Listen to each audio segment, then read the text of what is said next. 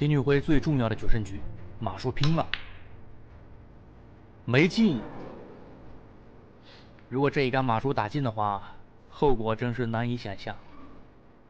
英国锦标赛的八进四，看一下准度，有了。这场比赛差不多打了有四个多小时。这场比赛对于丁来说，能否保住前十六最重要的一战。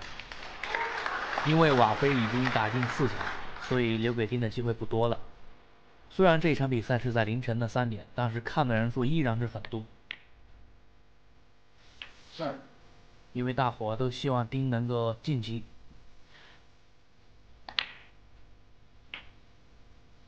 这场比赛丁俊晖打了三杆破百，三杆五十下，这样的状态真是太好了。三在开局连输两局情况下，有很多网友说丁俊晖要输。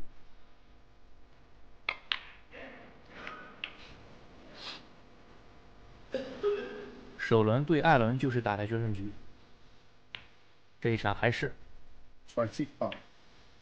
火箭那一场也是，决胜局战胜了周跃龙。小特是六比三战胜了塞尔比。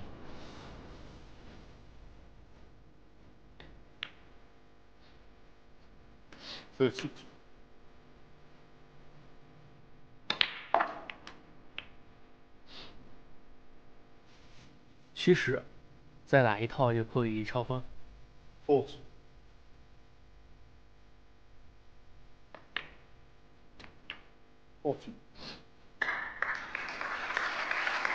打马输真是太艰辛了，因为之前丁俊晖好像是连输了三次。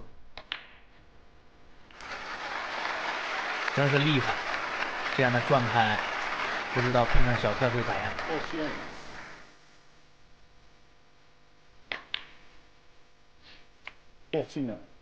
丁俊晖目前临时排名是第十三，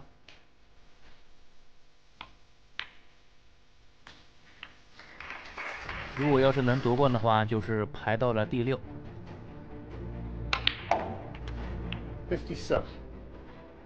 现在前十六有两位的中国选手，丁俊晖和张安达。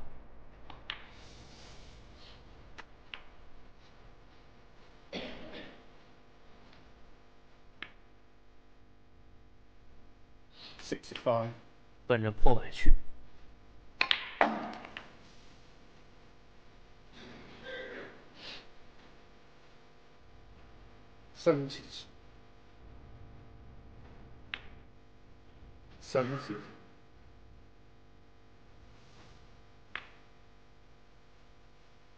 最后越打越快。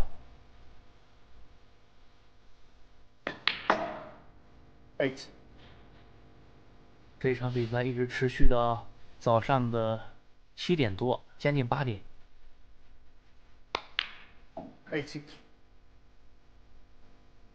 啊，输的准度真的不如之前了。Eighty-seven。应该是年纪大了。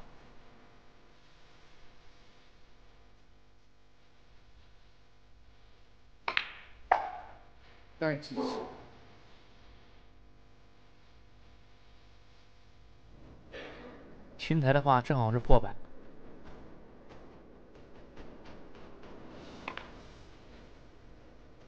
好球，信心十足，丁俊晖终于回来了。太厉害了！恭喜林俊辉晋级到四强，并且排名上升到了第十三，确定了明年大师赛。下一轮对手是小特尔。